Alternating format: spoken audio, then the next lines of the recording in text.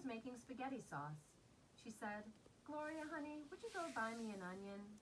Sure, I said. She gave me some money, and I went. The store was crowded with old people holding tightly to their shopping carts, little kids hollering to their parents for candy, and lots of people staring at shopping lists and blocking the aisles. I ducked around all the carts and went to the back where the vegetables are.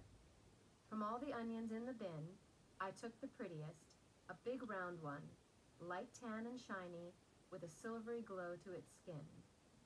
I carried it to the express checkout and stood at the end of a very long line.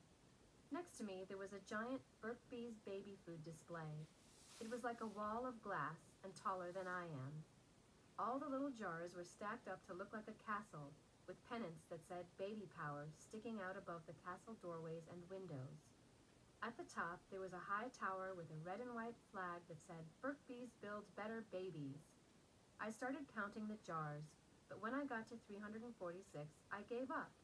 There must have been at least a thousand. The checkout line didn't move. To pass the time, I started tossing my onion from hand to hand. I tried to improve and make my throws harder to catch. A woman wearing a sky blue jogging suit got in line behind me. She was holding a cereal box. She smiled at me, and I smiled back. I decided to show her what a really good catcher I am. I made a wild and daring onion throw. I missed the catch. The onion kept going, straight for the middle of the baby food castle.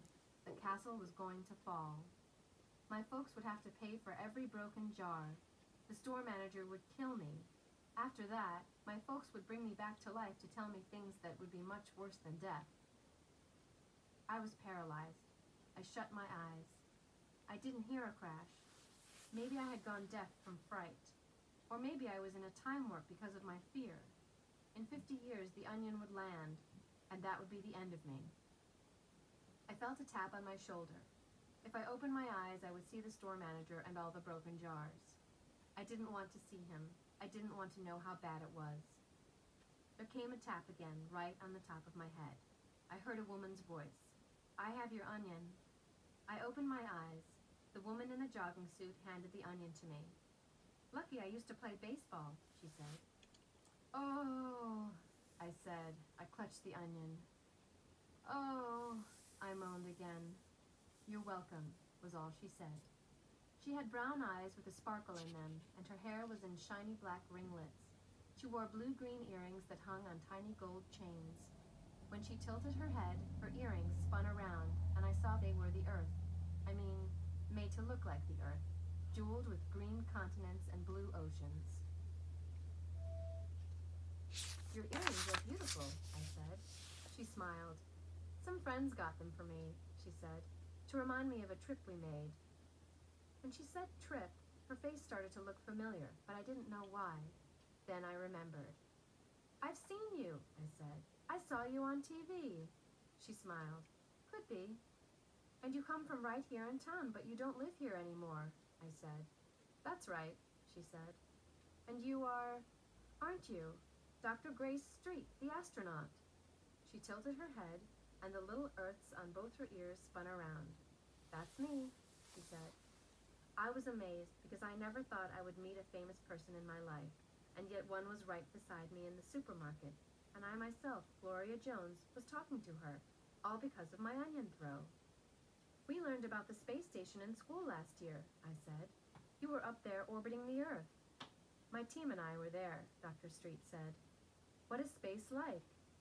You know, she said. How could I know? I said. We're always in space, Dr. Street said. We're in space right now. Yes, I said. But what was it like out there where you went? Out there it must seem different. Do you really want to know? She asked. And I said yes. The most awesome part was when we had to fix things on the outside of the station. We got our jobs done and floated in our spacesuits, staring out into the universe.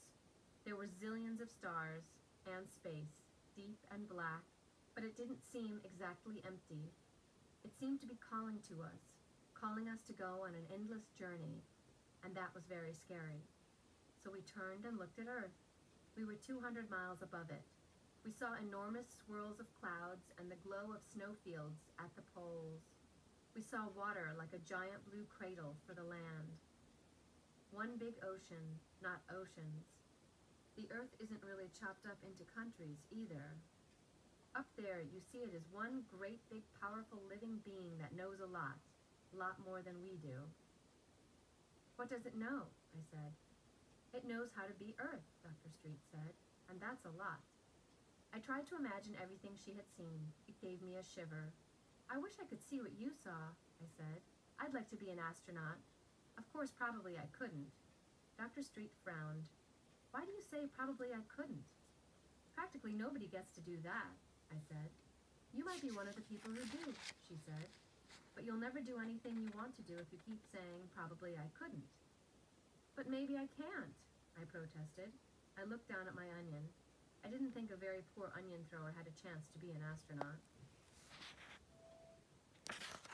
Dr. Street looked at my onion too.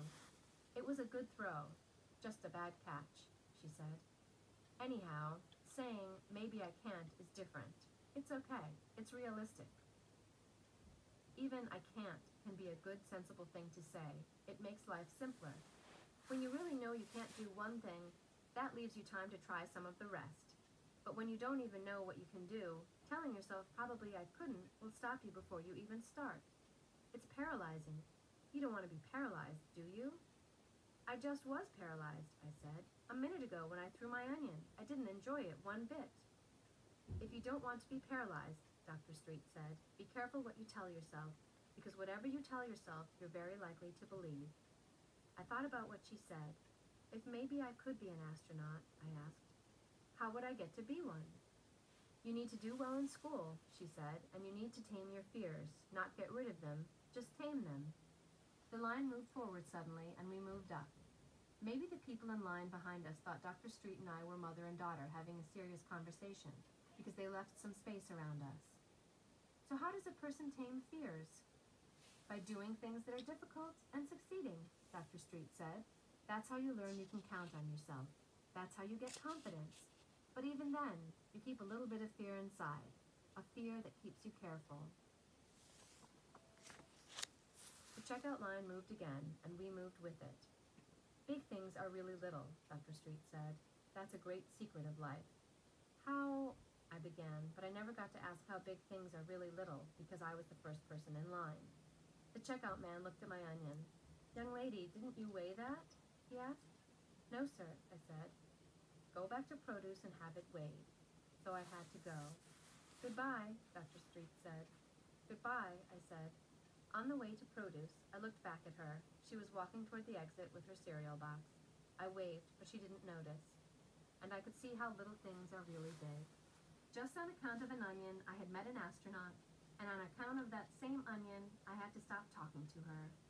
But how big things are really little, I couldn't understand at all.